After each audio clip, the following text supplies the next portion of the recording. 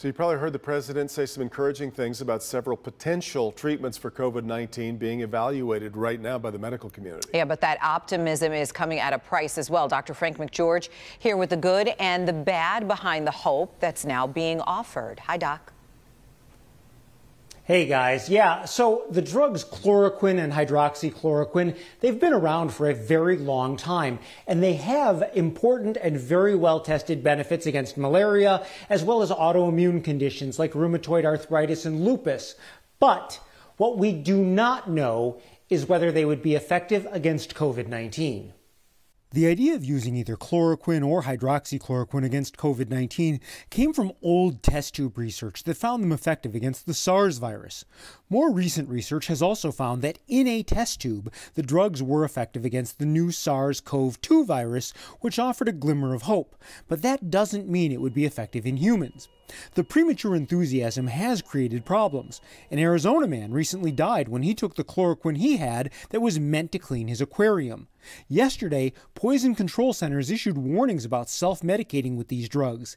Even the pills meant for people have potentially serious side effects, including heart rhythm abnormalities, anemia, and even blindness with long term use. Now, another big problem that has occurred is that people have started hoarding these medications, creating short supply for people with autoimmune problems who need them on a regular basis. Now, this problem isn't only limited to lay people. Numerous warnings have gone out to physicians that it is inappropriate to self prescribe or write prescriptions for family members.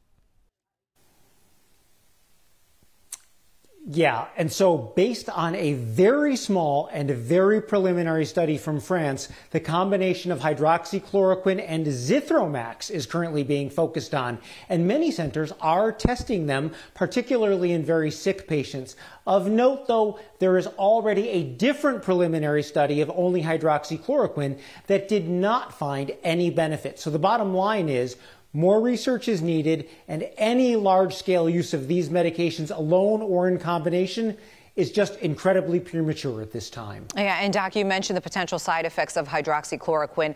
Uh, what about that combination uh, when you talk about Zithromax?